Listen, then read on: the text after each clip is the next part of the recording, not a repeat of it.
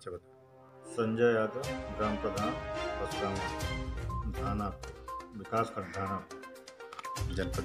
जनपद चंद्रपुर प्रधान जी आपका डोंगल कहाँ है?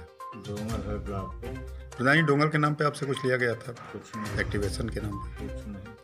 खाता खुलवाने के लिए लिया गया था। कितना पैसा लिया? तीन हज़ार। ठीक ये जो सड़क का बनवाया नरेगा द्वारा हम्म। उसकी ऊंचाई कितनी है? ऊंचाई होगी करीब दो ढाई फुट। ढाई फुट ऊंचाई। चौड़ाई? चौड़ाई होगी तीन साढ़े तीन मीटर। साढ़े तीन मीटर। तो प्रधान जी क्या आपको नहीं लगता कि ये मानव के विरुद्ध कार्य कर रहे हैं ऊंचाई तो एक मीटर होती है? अब देखिए हम लोग जैसा देखते हैं वैसा कार्य कराते हैं। अच्छा। ज़मीन नीचे है कहीं ऊँचा है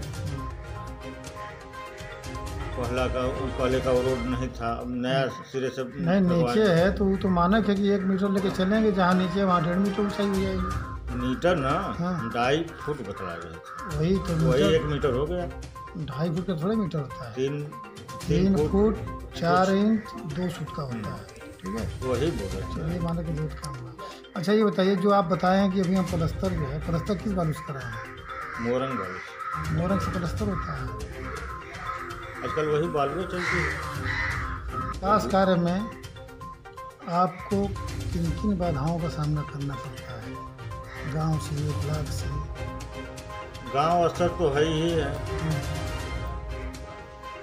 ऐसा है कि का वाला कोई कहता है कि नहीं हमारे खेत में तो- हमारे खेत की तरफ़ सड़क नहीं है उस तरफ़ है उस तरफ़ नहीं है उस तरफ़ है। ये तो समस्या है ही है।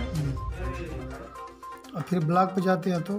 ब्लॉक पे जाते हैं तो वही सब काम हुआ नहीं हुआ कैसे हुआ कितना हुआ एम करना है ये करना है वो करना है। तो ब्लॉक पर काम के लिए दस दिन दौड़ना पड़ता है। तो ब्लॉक पर भी ये सब कुछ लेना देना पड़ता है आपको? ब्लॉक पर लेना देना क्या हम लोग बताएँ?